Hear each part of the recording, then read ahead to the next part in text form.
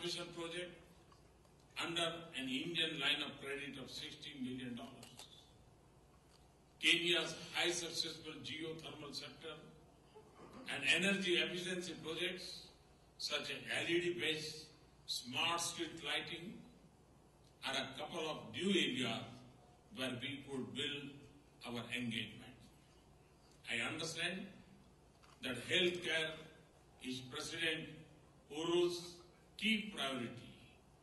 India can join hands with your priorities to shape an affordable and efficient healthcare system in Kenya.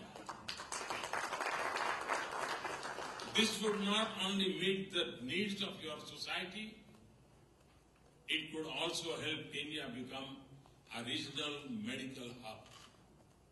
In this regard, I am happy that prestigious Kenyatta National Hospital will soon have the state-of-the-art made in India cancer therapy machine Bhabhatron.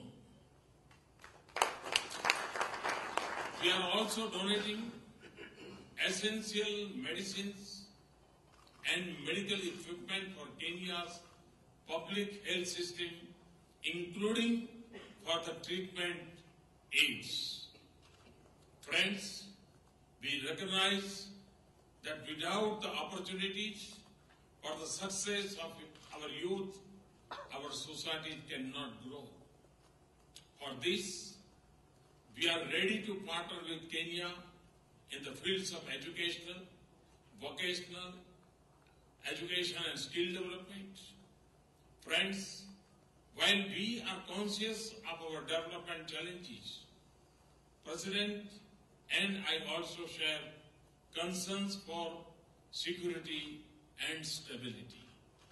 India and Kenya are connected My honor to request the Honorable Prime Minister to hand over the models of the Bhabhatron, about, of, of, of which he's just spoken to Your Excellency.